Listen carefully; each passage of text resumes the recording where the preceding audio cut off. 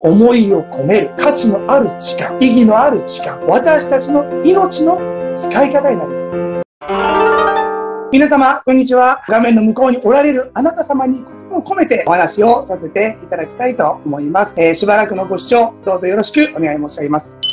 今日のお話のテーマは、時間です。皆様にとって、時間とは一体何でしょうか？例えば、今日このオンライン法話が、じゃあそこに参加しようと思えば、今日一日の時間配分をしなければいけませんよね。何時に起きて、何時に家を出て、何時から何があって、何時まで、何時に夕食の支度をして、あるいは食事を済ませて、そして心を整えて、オンライン法話に参加する、えー、今日の予定を滞りなくこなしていくために、私たちは毎日朝から晩まで時間とにらめっこしているみたいです。見方を変えれば、時間に追われている私たちと言えるかもしれません。人生二度なし、森信蔵先生の名言がございます。つまり、今という今、この時間というものは二度と戻ってきません。一度過ごしたら二度と帰ってこないもの、それが時間というものですよね。昨日という過去から今という現在、そして今という現在から明日という未来へと刻一刻と流れていく時間。今といったその瞬間、その今は過ぎ去ってしまう。過ぎ去った今は過去になり、次に来る今は未来になります。時間の流れは今の連続です。今は決して過去でもなく未来でもありません。今という今は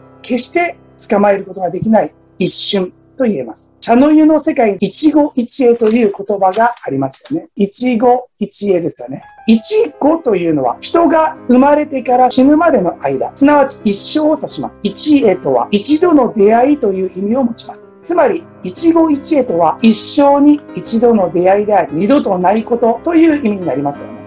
私たちにとって一生涯というのは、物理的時間の流れの中では、ただ一度だけのことの連続、かけがえのない一刹那の時間の積み重ねですよね。今は今しかない。瞬きしている間に、今は今でなくなってしまう。この一期一会。会った時が別れの時なんです。物事は全て出会った時が別れの時なんですよね。だから、巡り合いを大事にしなければなりません。巡り合いというのは本当に不思議なご縁です。巡り合うことによって何かの影響を受け、また何か影響を与えることにもなります。その縁で少しでも成長できてこそそこに巡り合いの尊さがあるのだと思います。それがご縁を生かすということだと思います。さあ、皆様にとって時間とは一体何でしょうか？私たちはおぎゃっと生命を授かった瞬間から時間とともに老病死という順を追って一歩一歩時々刻々と進んでいきます。小老病死ですね。その時間というものは私たちに与えられた命を刻んでいるもの。それがまさに時間というものになります。では、そんな貴重な時間というものを私たちはどう過ごせばよいのでしょうかね。世話しない日々の中で時には立ち止まって自分に与えられている時間。つまり命の使い方について考えてみるのも大切なことかもしれません。この日本は世界一の平均寿命を男女ともに誇る長寿大国になっているようですね。環境が整えられてですね、私たちの健康で元気ならば、私たちは120歳まで寿命があるとも言われています。健康で長生きできるということは、まあ、実は本当にありがたいことですよね。まあ、長寿っていうのは、それ自体が財産です。本人にとっても、そして家族にとっても、ご縁のある方々にとってもです。生きてるだけで丸儲けではないですけれども、生きているだけで価値があるというのは本当です。私もですね、こう朝な、夕なにですね、健康や長寿を祈っています。とはいえ、たとえ長寿であろうともですね、短命であったとしても、私たちは何人たりとも、その臨終から逃れることはできません。そして、命の量、寿命よりも、もっと大事なものがあります。えー、それが、命の質ですよね。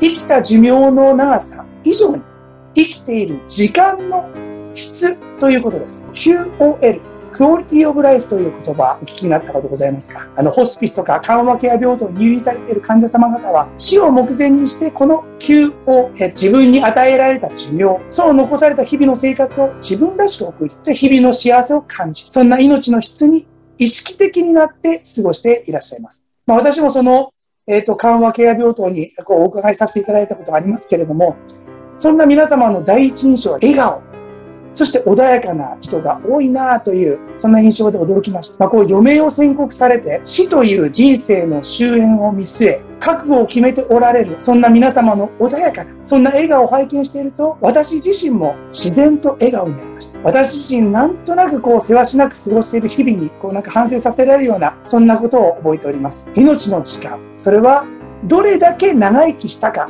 以上に、どう生きたか、今の自分はどういう心持ちで生きているのか、クオリティオブライフ、時間の質というものにもっと意識的にならなければいけないのではないかと思うわけであります。え私はえ日蓮宗という宗派の僧侶ですが、私たちのカイスは日蓮上人という方です。その日蓮上人がこうおっしゃっています。たとえ120歳まで長生きしたとしても、ただ漫然と暮らす日々を過ごすならば、本当の価値があるとは言えないのではないでしょうか。それよりも、今日というこの一日を自分にできる精一杯の努力をして働き、その働きが周囲の人たちのためになるような心を込めた活動をすることの方が最も大切なんではないでしょうかと教えておられます。確かにその通りだと私も思います。仏教では人生の四大苦として、先ほども見せましたけれども、この生老病死ですよね。私たちが人生で抱える4つの大きな苦しみを挙げています。死というのは、人生苦の集約とも言えます。つまり私たちは必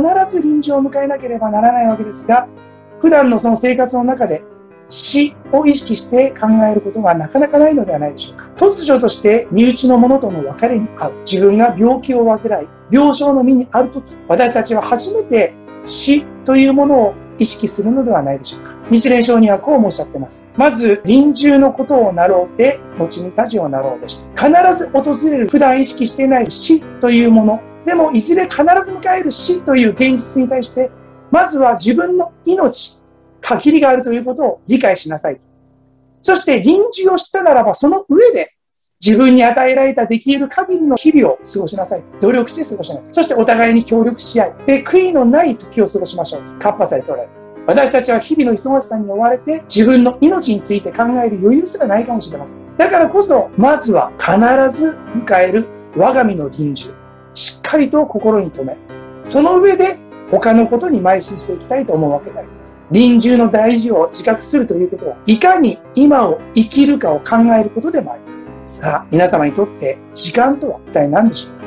忙しいということは一方ではありがたいことだとも言います。このコロナ禍で仕事を失って働く立場のない方も中にはたくさんおられます。そういう意味で忙しく仕事を持って働けるということはありがたいことと言わなければならないかもしれません。ただ、この忙しいという字、立身弁に滅ぶとか、このあまりに忙しいと心を滅ぼしてしまう可能性もあります。立身弁というのは心です。滅ぼすの下に心をつけると忘れるという感じになります。あまりに忙しいと私たちにとって本当に大切なことを忘れてしまうこともあります。忙しいことはありがたいことであると同時に本当に大切なことを忘れないように意識していないと自分で自分の心を滅ぼす可能性を持っていることもまた事実です。時間の質というものにできるだけ意識的にならなければ何か時間をこなして目の前の仕事に追われて本当に大切なものを見失ってしまう危険性があります。あなたの時間は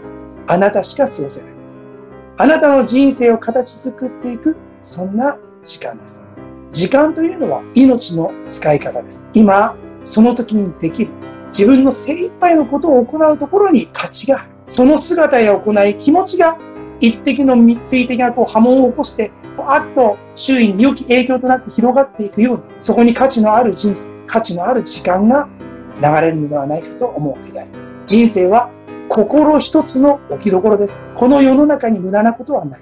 何一つないと思います。自分でそれを無駄にすることはできますが、無駄なことはない。そう思います。実は良いことはたくさん目の前に起きているのに、それを当たり前のように受け止め、十分味わっていないということもあるかもしれません。また、日蓮上人はこうもおっしゃっておられます。市場の心を汚れれば、ども汚れ。心清ければ、ども清しと。浄土といい、江戸というも、土に二つの隔てはない。ただ我らが心の善悪によると見えたりこの浄土っていうのはわかりますよね。仏様の穏やかな世界です。江戸というのは欲にまみれた迷いの世界のことです。浄土と江戸とは全く真逆のですね、反対の意味ですが、日蓮聖にはこの二つの世界に隔たりはないんだと、壁がないんだとおっしゃっておられます。浄土と江戸、この二つの世界には隔たりがない。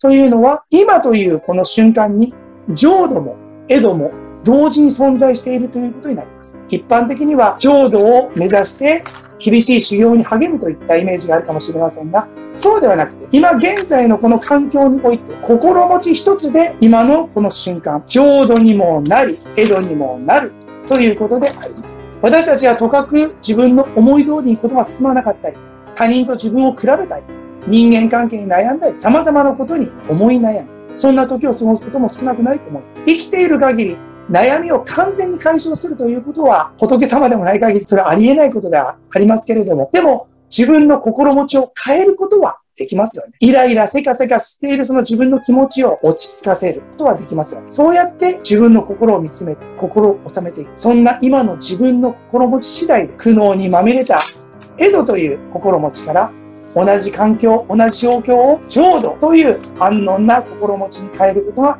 できるんです。そのためには他人と自分を比べない。自分の置かれた環境や境遇に文句を言わない。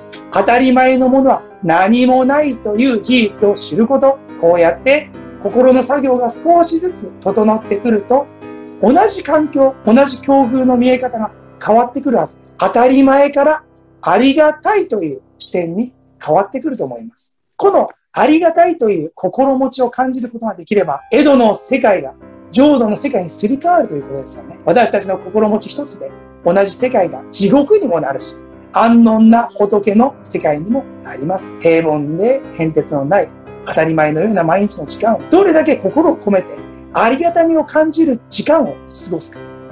心持ちというその人が抱えている思い、肉眼では見えませんよ。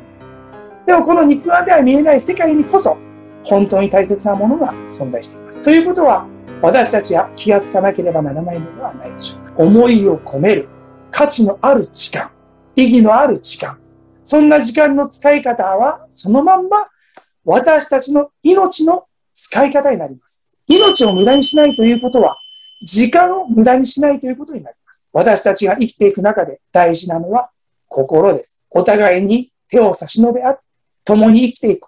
当たり前がありがたいという心持ちになった時に自然と自分以外のことのため、目の前の人のために自分の命の時間を喜んで使えるようになるのではないでしょうか。命や心というものも肉眼では見えませんが、その見えない思いを込めて、本当の幸せを味わう、人生の時間に変えていきたいと思うわけであります。仏教は合唱という書説、感謝や敬意など見えないものを形にして表現します。合唱の姿は仏を礼拝して敬うその心の表れですよ。合唱の姿は最も尊い姿とされています。私たちもこの肉眼では見えないその感謝の気持ちを合唱というこの姿に変えて心穏やかな安穏な時間を過ごせるような日々にしていきましょうね。